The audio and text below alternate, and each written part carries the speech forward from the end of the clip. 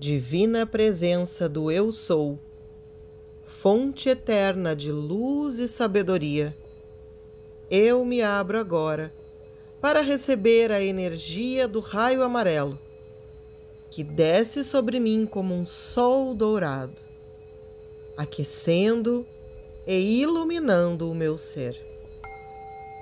Amado Mestre Lanto, guardião da sabedoria divina, eu invoco a tua presença agora e a tua luz, para que a minha mente seja iluminada com o brilho da verdade e o meu coração se preencha com a alegria divina de viver em harmonia com o plano mais alto.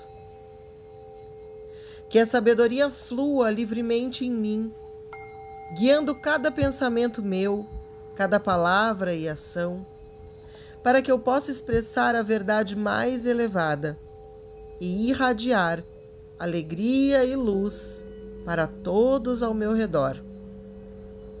Neste dia e em todos os outros, eu escolho a alegria, a sabedoria.